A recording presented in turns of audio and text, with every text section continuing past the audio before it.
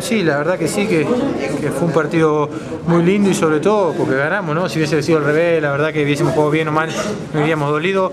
Hoy el equipo jugó bien y encima ganó, la verdad que, eso es muy bueno y bueno, como siempre digo, de cara al futuro ya estamos creo que con un pasito en la siguiente ronda y bueno, hay que terminar de, hacerlo el domingo, ¿no? Contra Calumni, sumando puntos. Eh, en la previa ya se lo veía que ustedes ya venían más tranquilos que Juventud Antoñana por cómo se venían dando los partidos anteriores y hoy apenas empezó el partido ya también se vio eso en la cancha, ¿no? ¿Se lo vio a ustedes más tranquilo, más ordenado que Juventud?